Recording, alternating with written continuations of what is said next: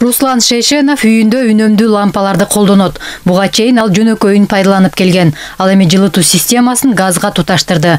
Муну менен ал жарыкты жана жылуулукту үнөмдөйт. Үйүнүн сыртын жылуулаган. Үй ээси түндүк электр ишканасында иштейт. Мекеменин кызматкерлери энергияны үнөмдөөнү өз мисалдарында көрсөтүүнү чечишкен. Ошол акча жагына дагы ошол жүтө эле үнөмдүү болот экен.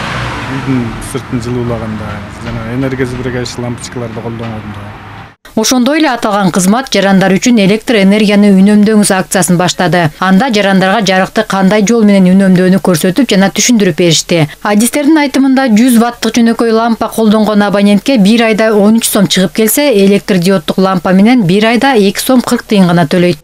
Светодиоддук лампа? Бир жылда?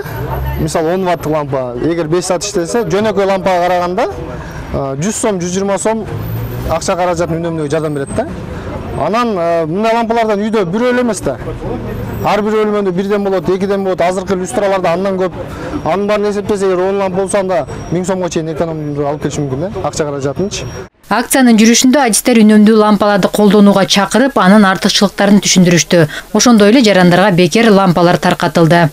Ушундай акция болуп атыптыр мына бири бирден алдың берки лампочкаларга караганда обычный илгерки колдонуп жүргөн лампочкага караганда бул лампочка немени аз жейт деди электр энергияны ведомство электр энергиясына кеткен чыгымдарды кыскартуунун он эки жолу боюнча китепче чыгарган ал орус жана кыргыз тилинде инспекторлор абоненттерге энергияны үнөмдөө боюнча кыдырып түшүндүрүү иштерин да жүргүзүшүүдө Этой акцией мы хотели бы призвать наших абонентов э, к разумному. Бул акция менен абоненттерди энергияны үнөмдөөгө чакырабыз. Себеби суунун аздыгына байланыштуу энергия кубаттуулугунун артыштыгы күтүлүүдө. Жөнөкөй эле электр приборлору менен туура жана сарамжалдуу колдонууга чакырат элек.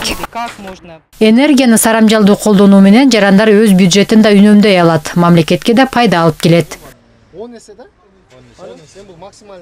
анара мамбеткадырова жана адил абубакир уулу лтр бишкек